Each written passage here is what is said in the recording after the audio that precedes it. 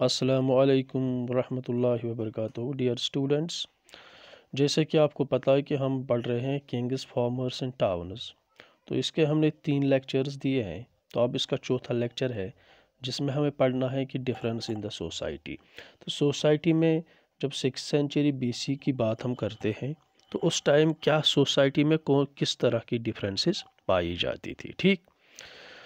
तो एग्रीकल्चर की बात हमने पिछले वीडियो में की कि एग्रीकल्चर प्रोडक्शन कैसे हो गई, ठीक है? बट जो ये प्रॉफिट था एग्रीकल्चर जो एग्रीकल्चर प्रोडक्शन से जो प्रॉफिट मिलता था, ये हर एक को बराबर नहीं मिलता था। Profit of agriculture did not get to everyone तो ये हर एक को नहीं, जो भी प्रॉफिट वहाँ से मिलता था, ये हर एक को नहीं मिलता था, ठीक है? तो वहाँ पे एक डिफरेंस हो गई थी। There was a growing difference in the agriculture based on the किसके बुनियाद पर डिफरेंस जो एग्रीकल्चर प्रोडक्शन के या ग्रोइंग जो जो डिफरेंस एग्रीकल्चर के बुनियाद पे, किस देयर वाज अ डिफरेंस जो डिफरेंस था, किसके बुनियाद पे हुई? Access to the land land पे किसकी कितनी एक्सेस है? ठीक है? और लेबर लेबर पे कितनी एक्सेस है? या न्यू टेक्नोलॉजी पर किसकी कितनी एक्सेस है? जिसकी जितनी एक्सेस होती थी, उसको उतना प्रॉफिट मिलता था, ठीक है? तो कंट्री साइड जब नॉर्थ इंडिया की बात करें कंट्री साइड जो हम देखते हैं तो there were three types of groups तो तीन कस्म के ग्रुप्स हमने देखे वहाँ पे नॉर्थ इंडिया की बात हम जब करते हैं तो लैंडलेस एग्रीकल्चर लेबर्स थे लैंडलेस जिनके पास ज़मीन नहीं थी, जिनके पास ज़मीन ही नहीं थे, वो एग्रीकल्चर लेबर्स काम करते थे, ठीक है? और स्मॉल पीजेंट्स थे, ठीक है? छोटे छोटे किसान थे और लार्ज लैंड होल्डर्स थे और बड़े बड़े जो जागीरदार थे, जिनके पास बड़ी बड़ी ज़मीनें थी बड़े बड़े तो तीन ग्रुप्स थे। एक थे जिनके पास ज़मीन ही नहीं थी, जिसके पास थोड़े छोटे किसान थे और तीसरी थी जिनके पास बहुत ज़्यादा ज़मीन थी, ठीक है? जो लार्ज लैंड होल्डर्स जो थे तो एज वेल एज द जो विलेज हेडमैनस थी लार्ज लैंड लॉर्ड्स जो थे, जो भी लैंड होल्डर्स थे, जिनको हम लैंड लॉर्ड्स कहते हैं, जिनके पास बहुत ज़्यादा ज़मीन होती है, या गाँव के जो बड़े बड़े लोग थे, जो भी गाँव के बड़े थे, जो गाँव गाँव के हेडमैनर्स होते थे, वो बड़े पावरफुल थे। दे आर वेरी पावरफुल ठीक है? तो ये कहाँ से तो हमें अर्ली जो संगम टेक्स्ट थे, जो भी अर्ली संगम टेक्स्ट थे, वहाँ से ये कैटेगरीज ऑफ़ पीपल्स हमें बेस्ड ऑफ़ द एग्रीकल्चर तो वहाँ से डिफरेंट कैटेगरीज ऑफ़ द लोगों की कैटेगरी हमें मिली। तो वहाँ पे क्या था?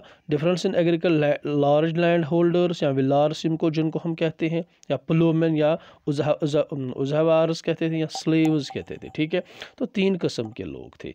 एक थे लैंड लैंड ओनर्स ठीक है? दूसरे थे प्लोमैन एक तो लैंड ओनर्स जिनकी ज़मीन थी, दूसरे प्लोमैन जो उन पर जो उन पर काश्तकारी करते थे, जो उन पर प्लोइंग करते थे, ठीक है?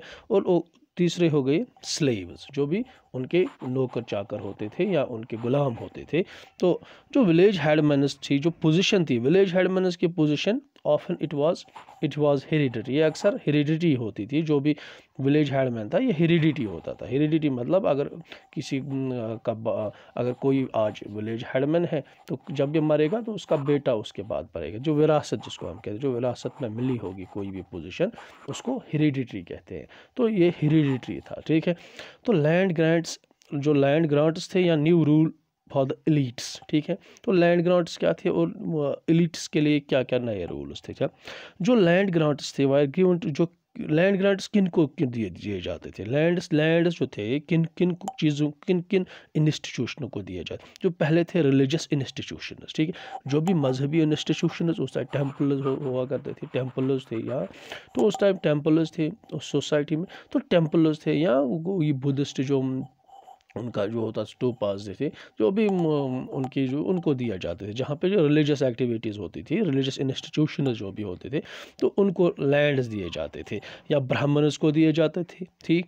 समानताज को दिए जाते थे, या लैंडलेस पीजेंट्स को देते थे, ठीक है?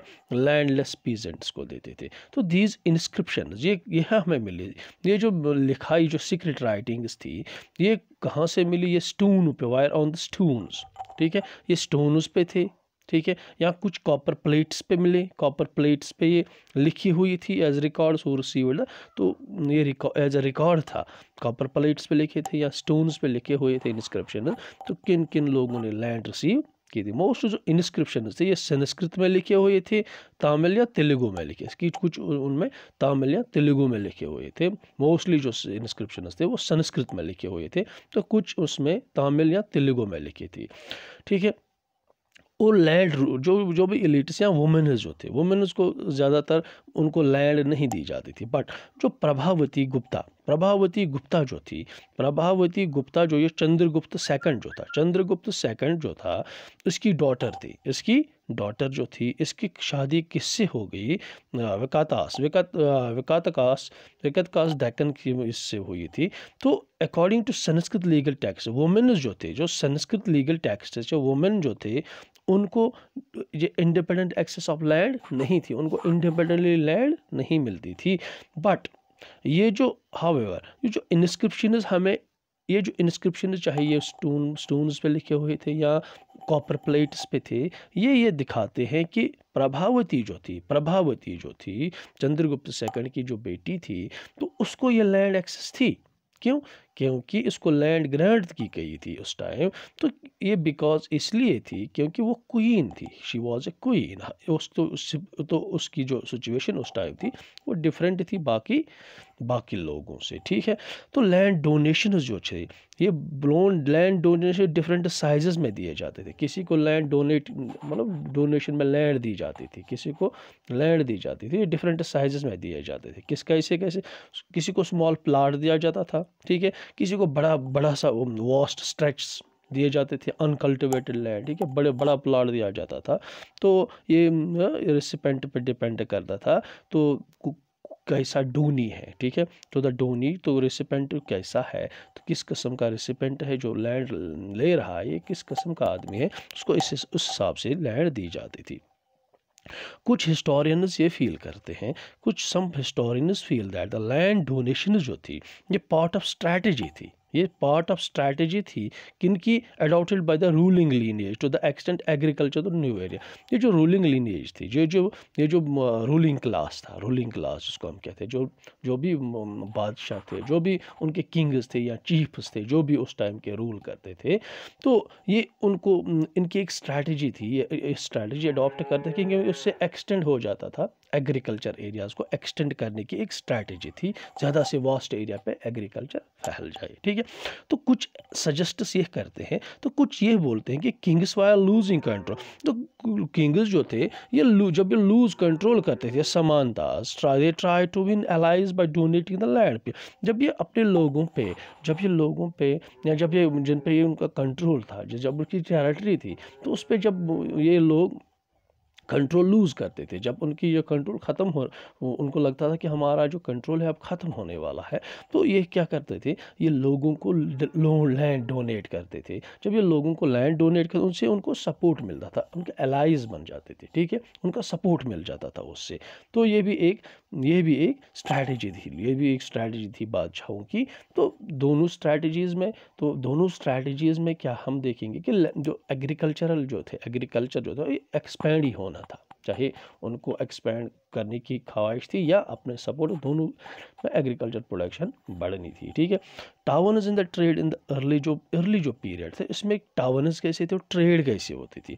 जो न्यू स्टीज थी न्यू स्टीज मैंने जो अर्बन सेंटर जो थे several parts of the subcontinent जो सिक्स सेंचुरी बीसी में, बहुत सारे अर्बन सेंटर जो इमर्ज हो गए बहुत सारे इनमें से कहाँ से, बहुत सारे जो थे, ये बहुत से जो महाजाना पदस पदस थे, जो महाजाना पदस थे, उनके कैपिटल्स थे। उनके जो मेजर टावर्स वो लोकेटेड तो बहुत बड़े बड़े जो टावर्स थे, वो लोकेटेड अलॉन्ग द रूट पे रूट्स पे थे, जो ट्रेड रूट्स थे। जहाँ पे ट्रेड होती थी, जहाँ जिन रूट से ट्रेड होती थी, वहाँ पे ये थे, यहाँ पे कम्युनिकेशन रबते के ज़रिए थे। फॉर एग्ज़ाम्पल तो पातलीपुत्र जो था इस रिवरीन रूट्स पे था। रिवरीन जहाँ पे जो दरिया की दरियाई जो ट्रेड होती थी, समंदर से जो बोल आता था तो उस पर ये पातलीपुत्र जिसको हम बिहार कहते हैं।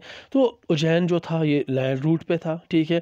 लाइक द पोहार या द कोस्ट जो ये सी रूट्स पे था पोहार जो सी रूट्स पे तो बहुत सारी जो मैनी सिटीज़ लाइक मथुरा जो है मथुरा एक इंपॉर्टेंट कमर्शल या कल्चरल या पॉलिटिकल एक्टिविटीज़ वहाँ पे होती थी मथुरा में, ठीक है? और अर्बन अर्बन पॉपुलेशन ठीक है?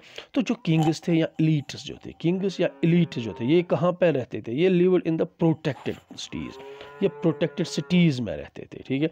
ये प्रोटेक्टेड सिटीज़ में रहते थे शहरों में रहते थे और ये ज़ाहिर सी बात है, जहाँ पे बादशाह रहता है, जहाँ पे इलीट रहते थे या बादशाह रहते थे, वो उस एरिया को फोर्टिफाई किया जाता था। तो इट मीन्स द जो भी सिटीज़ थी, वो प्रोटेक्टेड थे, उनको फोर्टिफाई किया जाता था, वहाँ पे बादशाह या इलीट रहता था। तो वहाँ पे बहुत सारी चीज़ें पाई गई, चाहे पोट्री जो बावल्स थे डिशेस थे, बहुत सारी खाने की चीज़ें जो जिनमें हम खाते हैं बर्तन वर्तन।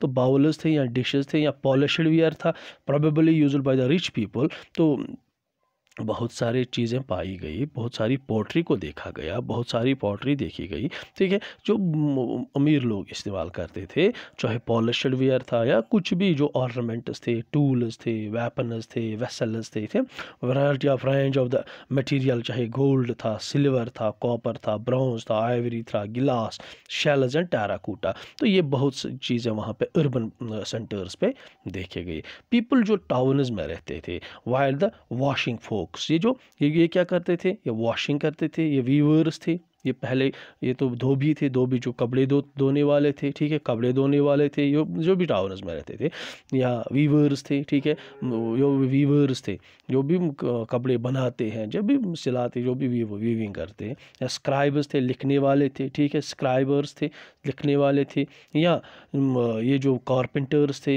या पोटर्स थे, या गोल्ड स्मिथ्स थे, या ब्लैक स्मिथ्स थे ऑफिशल्स थे रिलीजियस थे, चाहे रिलीजस थे रिलीजस जो टीचर्स जो होते थे रिलीजियस टीचर्स वो थे या मर्चेंट्स थे ठीक है? तुजारत करने वाले लोग, जो भी we can you can call them artisan जो भी आर्टिस्ट थे चाहे ये, वो कपड़ा धोने वाला था, चाहे ये कपड़े बनाने वाला था, चाहे ये ये जो स्क्राइब करता है ना, वो खुदाई करता लिखता है इसमें जो भी बर्तन बनाते फिर उसमें स्क्राइबिंग हो जाती है। तो ये भी थे कारपेंटर था या पोटर था, या भी गोल्ड से सोना बनाने वाला, या भी लोहार था, या भी कोई भी ऑफिशियल था, कोई भी रिलीजियस टीचर या कोई भी मर्चेंट वहाँ पे रहते थे। ठीक है? तो इंस्क्रिप्शन जो थे इंस्क्रिप्शन में ये ये मेंशन किया गया कि गुल्ड्स थे वहाँ पे। तो ये भी, ये जो थे ऑर्गेनाइजेशन थे गिल्ड उनकी जमात एक थी, उनकी एक जमात थी, चाहे ट्रेडर्स का गिल्ड था या किसी भी आर्टिसन का गिल्ड था या ऑर्गेनाइजेशन ऑफ़ क्राफ्ट प्रोड्यूसर्स थे या मर्चेंट्स थे, ये इंस्क्रिप्शन से हमें बहुत सारे में, जो जो गिल्ड्स थे, ये जो भी गिल्ड्स ये भी ये भी, ये जो गिल्ड्स थे, चाहे भी ये ट्रेडिंग ऑर्गेनाइजेशन थे या कोई भी ये जो गिल्ड था, ये रॉ मटेरियल कलेक्ट करते थे। गॉट रॉ मटेरियल्स ठीक है, ये रॉ मटेरियल प्रोडक्ट करते थे रेगुलेटेड प्रोडक्शन और जो प्रोडक्शन थी उसको रेगुलेट करते थे, उस पर नज़र रखते थे, कैसे प्रोडक्शन को इंक्रीज़ करना है, कैसे ये करना है, कैसे हमारी इकॉनमी बढ़ेगी। तो these all things they were watching these things ठीक है? और मार्केटेड मार्केटेड द फिनिशड जो भी फिनिशड प्रोडक्ट बनता था, जो भी ये चीज़ें बनाते थे तो उसको मार्केटिंग करते थे मार्केट में भेज देते, ताकि इनकम रिसीव हो जाए ठीक है? तो ये था all about this urban population तो इसके साथ ये ये जो हमारा जो लेसन है, वो वो ख़त्म होता है। जब तक हम नेक्स्ट लेसन या इसके क्वेश्चन में आपको व्हाट्सएप ग्रुप में डाल दूँगा। तो तब तक के लिए have a good day thank you